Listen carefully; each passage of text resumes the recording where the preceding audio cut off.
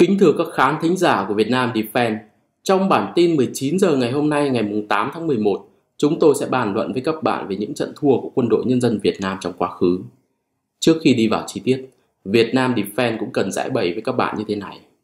Thực ra, với những chiến thắng lịch sử của quân đội ta trong hai cuộc kháng chiến, tâm lý ai cũng vậy, thường hơi khó chịu khi nói về những trận thua. Nhưng chúng ta cần biết rằng, trong chiến tranh, nước nào cũng vậy, kể cả Mỹ, Nga hay là Trung Quốc, ai cũng có thắng, có thua, thậm chí thua rất đau. Việt Nam ta cũng thế, cần phải hiểu là kẻ thù của chúng ta là những cường quốc quân sự hùng mạnh, là nơi sáng tạo ra nhiều chiến lược chiến thuật chiến tranh. Cho nên việc chúng ta có những trận thua là không lạ. Tại sao lại nói lại chuyện này? Đơn giản thôi, đó là một phần của lịch sử. Tôi tin là có những bạn chưa biết hoặc ít được nghe kể.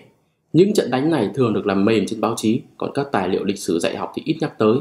Nhưng nó tồn tại trong tài liệu tổng kết kinh nghiệm của quân đội, lịch sử các sư đoàn, các lữ đoàn, thậm chí là được đem ra giảng dạy cho các thế hệ sĩ quan hiện nay. Vâng, là kinh nghiệm. Mỗi trận thua là một kinh nghiệm, rút ra được bài học và không lặp lại trong tương lai là điều mà chúng ta nhắm tới. Và bây giờ, chúng ta sẽ đi vào chủ đề chính. Trong lịch sử kháng chiến chống Mỹ, quân đội nhân dân Việt Nam thua không phải ít, nhưng có một số trận đánh được coi là bài học lớn cho thế hệ mai sau. Đó là trận Chư Tan Kra năm 1968. Trận Chư Tan Kra hay còn gọi là trận chiến trên điểm cao 995 do Trung đoàn 209 lính mũ sắt Hà Nội tiến hành Lính ngũ sắt là tên gọi của những người chiến sĩ trung đoàn 209, một trong những đơn vị được tuyển chọn đặc biệt, sức khỏe A2 trở lên, lý lịch ít nhất phải là đoàn viên và đa số là người Hà Nội. Tất cả họ đều nhập ngũ vào ngày 27 tháng 3 năm 1967. Bộ đội trung đoàn 209 được rèn luyện thể lực kỹ lưỡng, về mặt trang bị thì rất tốt lúc bấy giờ. Hiếm có đơn vị nào của ta khi đó mà 100% được trang bị mũ sắt của Liên Xô. Bên cạnh đó là các loại vũ khí bộ binh hiện đại nhất như tiểu liên AK, trung liên RPD, đại liên K5357, súng chống tăng B41, lựu đạn chống tăng RKG3, súng phun lửa, bình định hướng MDH-10. Sau cuộc chiến Tết Mậu Thân năm 1968, Trung đoàn 209 nhận lệnh vào miền Nam chiến đấu. Sau nửa tháng hành quân bằng ô tô, các đơn vị đã vào tới Tây Nguyên. Trung đoàn mũ sắt được phân công đứng chân tại thượng nguồn sông Sa Thầy, huyện Sa Thầy, tỉnh Con Tum, thuộc Bộ Tư lệnh Mặt trận Tây Nguyên gọi tắt là B3. Đây là địa bàn chiến lược có ý nghĩa hết sức quan trọng đối với chiến trường miền Nam Việt Nam, cũng như Lào và Campuchia. Vừa vào tới nơi, trung đoàn đã nhận lệnh tấn công trại biệt kích Clang hay còn gọi là căn cứ Lệ Khánh nằm ở phía tây bắc Con Tum. Tuy nhiên, ngày 21 tháng 3 năm 1968, trong quá trình tập kết ở Chư Tan Kra, Chư Tan An cách Clang khoảng 10 cây số thì ta bị lộ. Ngay lập tức, Mỹ dùng máy bay ném bom dữ dội rồi đưa trực thăng đổ quân ồ ạt lập căn cứ hỏa lực FSB-14, ta gọi là M2. Căn cứ này nằm ngay chốt gác của đại đội 1, tiểu đoàn 7, trung đoàn 209. Trinh sát của ta báo về, Tại căn cứ này, Mỹ đã tập kết một đại đội pháo 105 ly và cối 81 ly, ba đại đội bộ binh kèm trinh sát và công binh. Do vậy, các tài liệu tổng kết sau này xác nhận, trinh sát của ta không phát hiện được hai đại đội bộ binh luôn dừng từ Cờ lên. Ban đêm, nhóm này cũng không vào căn cứ mà ngủ trong rừng. Trước tình hình này, Sở Chỉ huy nhận định, nếu để cho quân Mỹ thiết lập hoàn thiện xong vị trí này thì sẽ rất kiên cố và cực kỳ khó đánh. Vì vậy, tiểu đoàn 7 cần giải quyết cái gai này càng sớm càng tốt. Vậy là Chư Tan Kra trở thành trận đánh đầu đời của những chàng trai Hà Nội vừa chân ước chân giáo vào chiến trường. Chư Tan Kra là dãy núi hình vòng cung hướng Nam Bắc, ôm một phần thung lũng Cờ Làng. Núi có 7 đỉnh, đỉnh chính giữa cao 1.198m. Từ trên sườn đông Chư Tan Kra có thể quan sát được sân bay và chi khu quân sự Cờ Làng ở phía dưới. Đây là một căn cứ quan trọng của Mỹ và quân đội Sài Gòn, án ngữ đường 14 và thị xã Con Tum cách đó hơn 30 km về phía đông. M2 là một căn cứ hình chữ T trên sườn núi dốc mỗi chiều 500 đến 600 mét. Quân Mỹ đã bố trí 3 đại đội bộ binh ở ba góc để có thể dễ dàng chi viện cho nhau. Ở giữa, họ bố trí trận địa pháo và chỉ huy sở, được bảo vệ bởi lớp phòng ngự thứ hai là lính trinh sát, công binh và thông tin. Chỉ mới kịp làm 3 lớp hàng rào, bù lại họ răng nhiều lớp mìn định hướng Claymore, có thiết bị nhìn đêm và thu phát nghe tiếng động. Đặc biệt, tình báo Mỹ cũng biết quân ta có hai tiểu đoàn, một ở phía bắc và một ở phía nam căn cứ FSB-14. Với lực lượng quân sự Mỹ như vậy lại có chiến hào và lô cốt phòng ngự, thì theo nguyên tắc quân sự, phải có hỏa lực mạnh và một lực lượng đông gấp 3 đến 5 lần mới có ưu thế để đánh thắng. Với quyết tâm tiêu diệt quân địch, chính trị viên Phan Trọng Bắc và tiểu đoàn trưởng tiểu đoàn 7 Trương Ân sung phong nhận mũi chủ công đánh địch tại cao điểm 995. Ngoài ra, tiểu đoàn 9 bị thiếu mất một đại đội, phối hợp đánh hướng thứ yếu, một trung đội đặc công sẽ tham gia trợ công.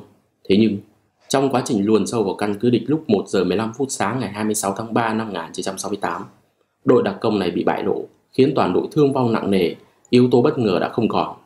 Nhưng thông tin này không tới được với tiểu đoàn 7 đang ém quân quanh căn cứ địch không xa. 3 giờ 20 phút sáng ngày 26 tháng 3 đã qua giờ hẹn với đặc công, không thể chờ thêm. tiểu đoàn 7 quyết định khai màn trận đánh. Sau hai quả pháo hiệu rồi tiếng kèn xung trận rúng động cả một khóc rừng, cối 60 và 82 ly của tiểu đoàn 7 thi nhau rót vào căn cứ địch. Quân ta nhanh chóng chọc thủng lớp rào dây thép gai vành đai, các mũi cơ động đồng loạt tiến công. Tiếng hô xung phong rúng động cả góc trời. Các chiến sĩ đại đội 1 và 2 của tiểu đoàn 7 đồng loạt tấn công các trận địa pháo. Sở chỉ huy căn cứ địch bằng đủ loại hỏa lực gồm cả súng phun lửa. Trước sức tấn công mãnh liệt của trung đoàn 209, lính Mỹ những phút đầu bối rối nhưng rất nhanh, chúng tỏ ra là đơn vị thiện chiến và sừng sỏ.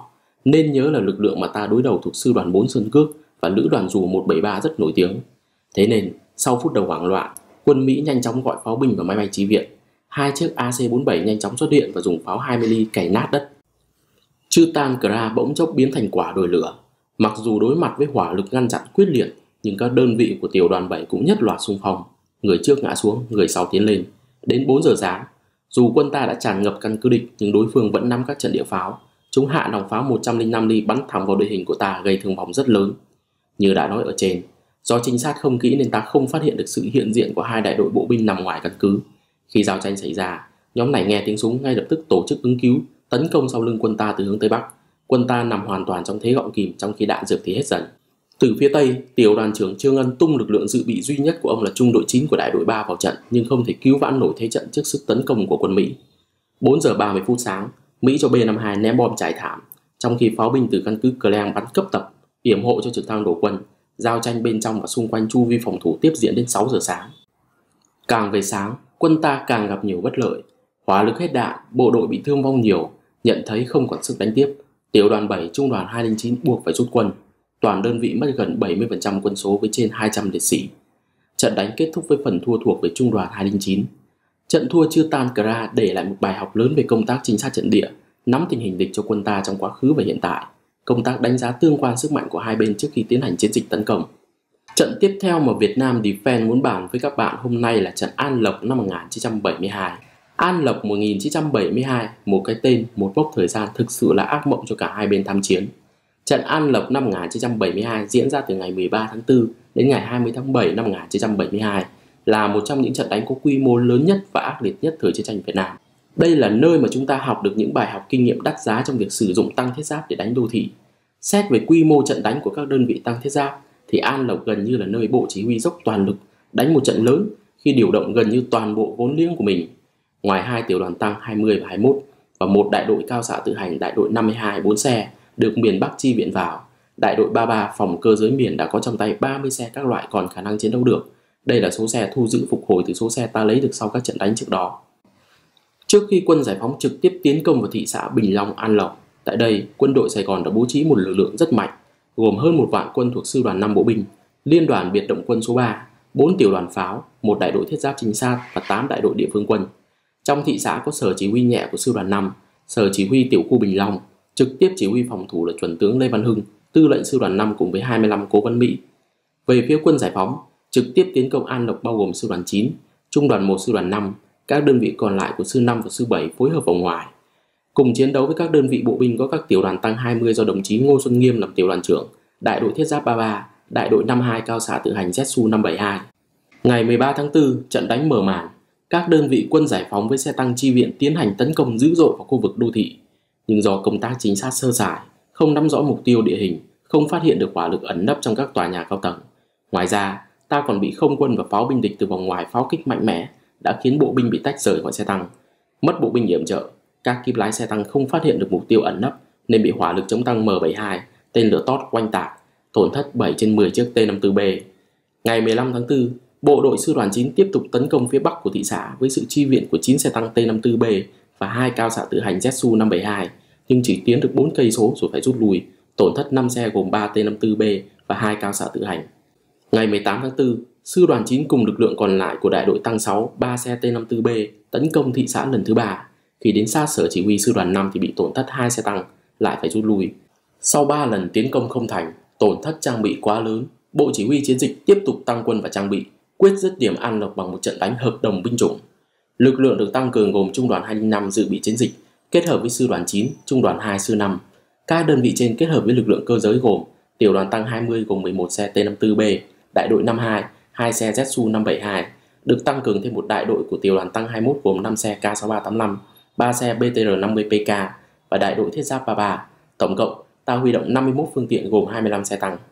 3 giờ sáng ngày 11 tháng 5, bộ binh được xe tăng chi viện mở cuộc tấn công lần thứ tư vào thị xã Bình Long. Dù có tinh thần quyết tâm cao, không ngại hy sinh, nhưng một lần nữa ta tiếp tục phạm sai lầm chiến thuật. Xe tăng tiến quá nhanh, bộ binh không theo kịp, sau cùng lại bị chia cắt bao vây trong đô thị.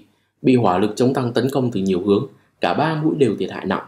Riêng tăng thiết giáp tổn thất 15 xe, trong đó có 3 chiếc T-54B, 2 chiếc K-6385. Sau 4 lần tiến công không thành, tổn thất hàng chục xe tăng, Bộ Chỉ huy quân giải phóng quyết định chuyển cách đánh từ tấn công sang bao vây cô lập, chủ yếu dùng pháo binh và đặc công để đánh phá. Ngày 20 tháng 7 năm 1972, lực lượng tiếp viện của quân đội Sài Gòn đột phá vòng vây, bắt tay với quân phòng thủ An Lộc. Tới đây, chiến dịch An Lộc kết thúc. Quân đội Nhân dân Việt Nam quyết định thu quân. Như vậy, ý đồ giải phóng An Lộc mở toang cửa ngõ Tây Bắc tiến vào Sài Gòn đã không thành. Đó là một thất bại với chúng ta. Về thương vong, theo hồ sơ quân y, trong chiến dịch An Lộc, ta có gần 7.000 thương vong.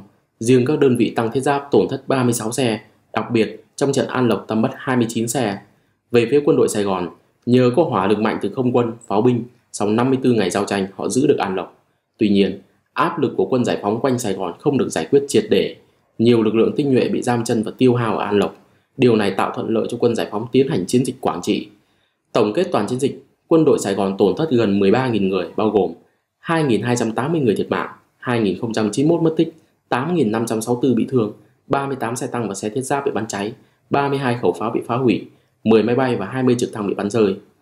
Nhìn chung, trận An Lộc năm 1972 để lại cho ta nhiều bài học kinh nghiệm, đặc biệt là trong phối hợp tác chiến bộ binh xe tăng, tác chiến xe tăng trong địa bàn đô thị và nhiều vấn đề khác. Sau này, tổng kết chiến dịch, Trung tướng Trần Văn Trà đã nhận xét, trận An Lộc, quân giải phóng đã chịu nhiều bất lợi, hành quân gấp, vũ khí đạn dược thiếu thốn, công tác tiếp vận kém, địch có hỏa lực áp đảo do Hoa Kỳ hỗ trợ, đặc biệt là máy bay ném bom B-52. Quân giải phóng đã chịu một thiệt hại không nhỏ, nhưng từ đó chúng ta đã rút ra được những bài học vô giá cho các chiến dịch sau này. Đồng thời, ta cũng nhận ra sự yếu kém của địch nếu không có sự yểm trợ hỏa lực của Hoa Kỳ.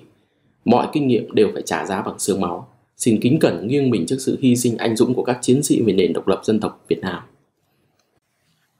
Vậy là bản tin của ngày hôm nay đã kết thúc. Chúc các bạn một buổi tối vui vẻ. Các bạn hãy ủng hộ kênh bằng cách đăng ký kênh, ấn chuông để nhận thông báo video mới nhất nhé. Cảm ơn các bạn.